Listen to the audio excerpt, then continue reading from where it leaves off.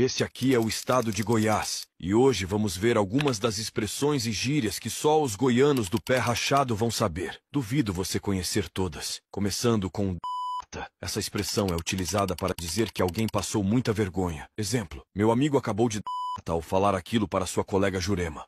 A próxima é tem base, quando um goiano ouve algo muito difícil de acreditar. Exemplo: Joaquim fez 100 flexões. Tem base? Essa aqui também é comum em outras regiões. A palavra trem é uma palavra coringa utilizada pelos goianos para se referir a qualquer coisa. Exemplo: me alcança aquele trem ali, por favor.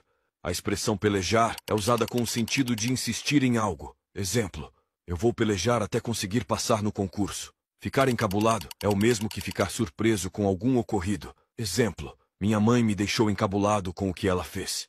Outra expressão dos goianos é a palavra estrovar. Tem o mesmo sentido da palavra estorvar, mas foi adaptada para o goianês. Ela significa quando alguém impede outra pessoa de fazer algo. Exemplo: Minha irmã fica me estrovando o tempo todo. Comente aqui outras expressões goianas que você conhece, e se você quer os próximos estados, comente parte 2.